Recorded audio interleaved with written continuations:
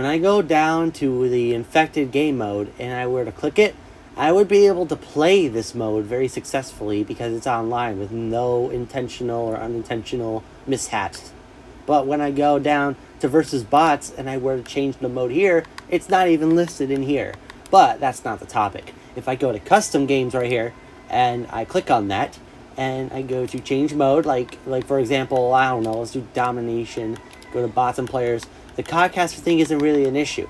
Now, and, that's the same thing can be said for team deathmatch, and I I would say probably probably hardcore team deathmatch as well. But if I go to infected or prop hunt, but infected, and I go there, I can't even add the bots. And all the other Call of Duties, you were able to play with bots. And I don't want to have to deal with worrying about joining mid-game and risk being infected. And I should just be a survivor, and then if I become infected, I become infected during the time that I've survived.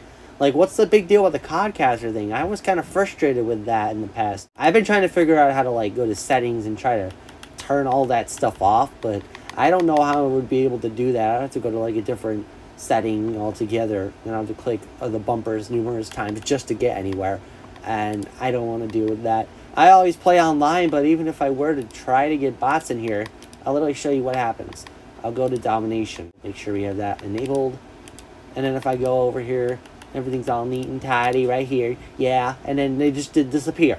Like, I can't even uh, at least have the bots, like, stay there because of autofill. How do you fix that? Like, is there, any, is there a way to bypass that?